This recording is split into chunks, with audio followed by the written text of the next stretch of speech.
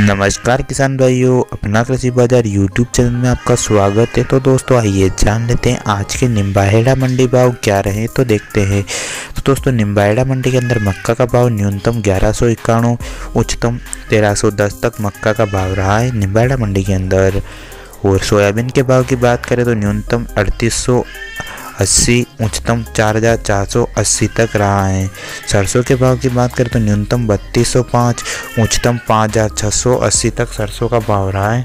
निम्बाइड़ा मंडी के अंदर चने के भाव की बात करें तो न्यूनतम पच्चीस सौ, उच्चतम तीन हज़ार सात सौ नौ तक चने का भाव रहा है। जौ के भाव की बात करें तो न्यूनतम तेरह सौ, उच्चतम पंद्रह सौ पच्चीस तक जौ का भाव रहा है। और मेथी के भाव की बात करें तो न्यूनतम चार हज़ार दो सौ दस, उच्चतम पाँच हज़ार पाँच तक मेथी का भाव रहा है। गेहूँ के भाव की बात करें तो न्यूनतम पंद्रह सौ, उच्चतम अठारह सौ नब्बे तक गेहूँ बिके हैं।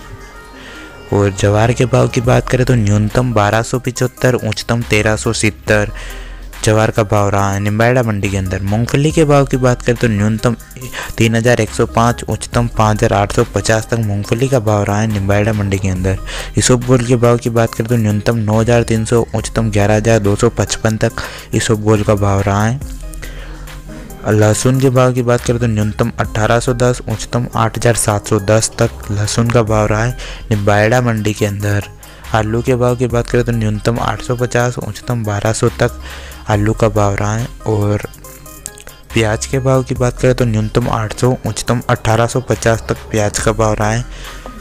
निम्बाड़ा मंडी के तो किसान भाइयों, ऐसे ही निम्बाड़ा मंडी भाव जानने के लिए हमारे यूट्यूब चैनल को सब्सक्राइब करें और पास में जो घंटा उसे दबा दे ताकि रोज के वीडियो आपके पास पहुँचते रहे।